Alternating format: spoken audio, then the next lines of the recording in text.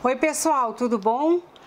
Hoje a gente vai fazer uma flor, é, um floralzinho, né? Com esse pincel aqui ovalado, que é um pincel que tem a ponta é, de bala, assim, fininha. Vamos usar o, esse aqui, ó, que é um pincel diagonal, tá? E vamos usar as aquarelas Winsor e Newton e vamos usar esse papel aqui da Strathmore, que é para aquarela. É um papel prensado a frio, 300 gramas, tá? De qualidade superior, porque ele tem bastante algodão. Não fala aqui quanto que tem de algodão, então não sei é, dizer para vocês, mas eu só sei uma coisa, ele é muito bom, tá? Então, vamos lá, eu vou fazer com o bloco é, virado. Então vamos lá, vamos pegar aqui, quero fazer a minha flor vermelha. Ó, quem gostar de limpar a paleta, limpa. Realmente eu não me incomodo e depende muito do trabalho, tá? Vou colocar um pouquinho desse outro vermelho da Senelier. Olha só, que eu coloquei aqui do lado do vermelho da Winsor Newton, tá? Vou deixar essa tinta aqui mais transparente um pouco. E vou colocar um pouquinho de marrom na pontinha do pincel, só na pontinha, tá? E agora, ó, pessoal, vou fazer a minha pétala. Eu quero o miolo marrom. Então, eu vou começar assim, ó. Ops, sai. Olha só, isso é um acidente na aquarela. Então eu vou, vou tentar usar esse acidente, ó, tá? Então eu pressiono o pincel com muito cuidado, olha aqui, né, para fazer a pétala, sendo que, ó, eu tô mais trabalhando com a pressão do que qualquer outra coisa. Por quê? Porque eu quero essa textura aqui, tá?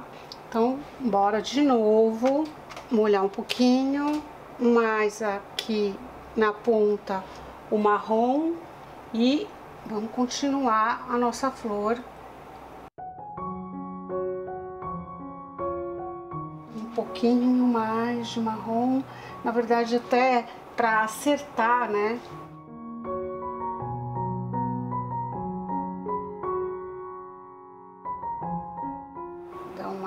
viradinha aqui na barriga do pincel. Pouquinho mais de marrom, eu ainda tenho é, bastante vermelho aqui, né? Aí agora eu vou vir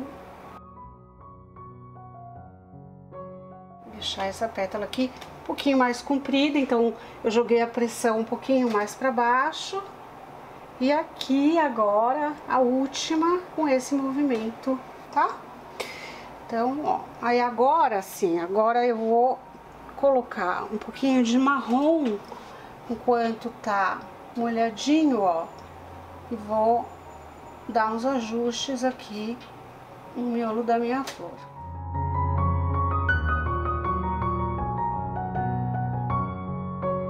Daí eu vou lavar. Vejo que sobrou vermelho aqui no meu pincel. E agora eu também quero dar uma ajustada nas pétalas, mas, ó, pessoal, muito suave, vou deixar agora bem suave, com bastante suavidade, mas o que que acontece? Isso aqui dá movimento.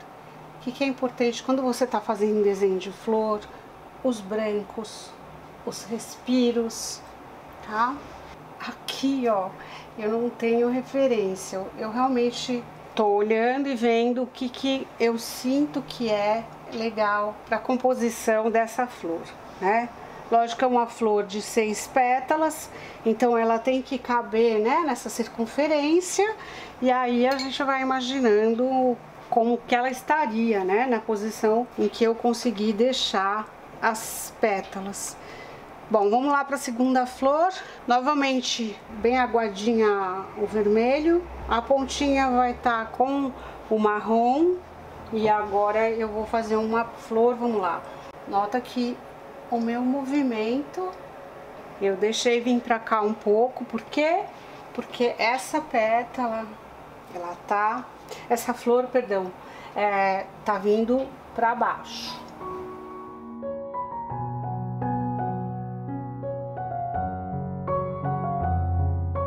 Agora eu vou limpar, porque eu vou fazer essas pétalas aqui que estão atrás. Ó, quer ver?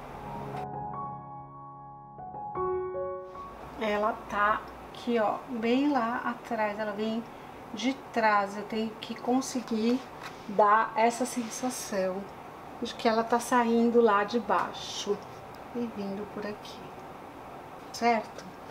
Como tá com muito vermelho, eu vou dar uma limpada.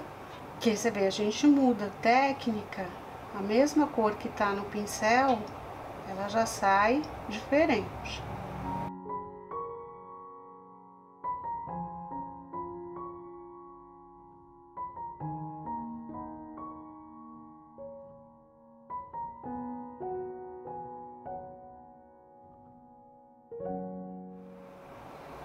Às vezes, pessoal, ó, que nem essa mancha aqui, eu não tava gostando.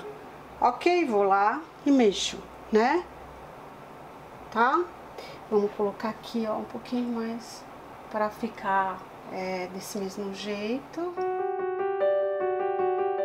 Mais uma flor.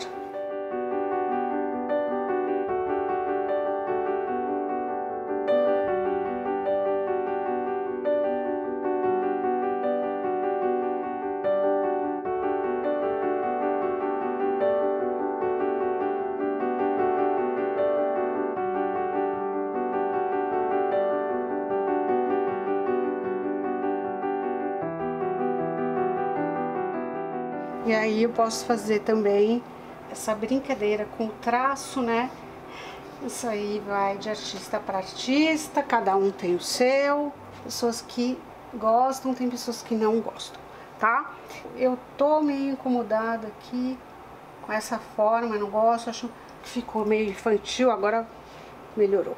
Mas depois que você faz, né? Aí você vai ajustando como você achar melhor.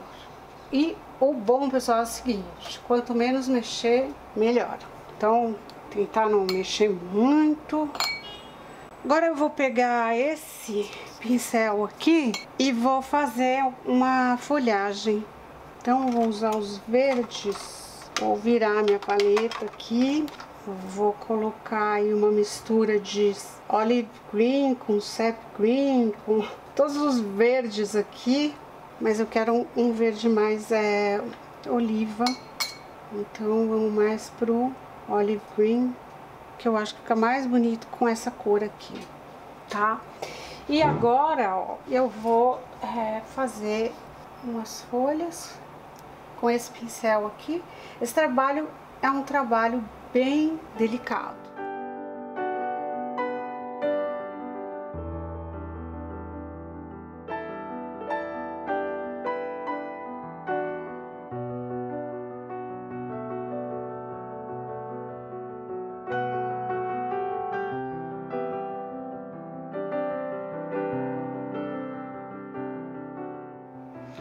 E aí eu vou pegar o pincel redondo, vou voltar na corzinha vermelha, vou fazer aqui um,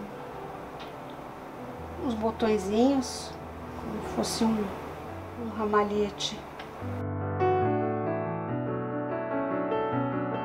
É assim, pessoal, aquarela é treino, a gente tem que treinar muito essa coisa da aquarela espontânea, sem desenho, sem nada, mesmo que erre muito, né, que seja difícil e tal, mas é muito legal para você é, estimular a sua criatividade, para você conhecer o material.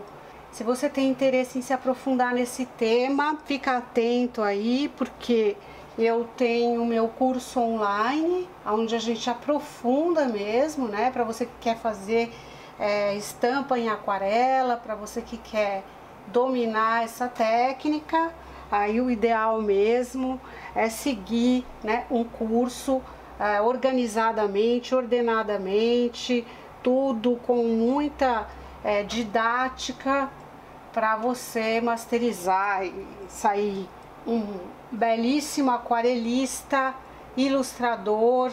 É, você pode até ganhar a sua vida, né? Ganhar dinheiro fazendo aquilo que você ama com a sua arte, tá?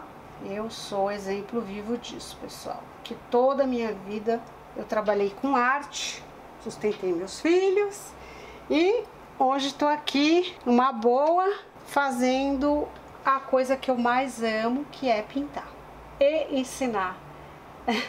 tá bom?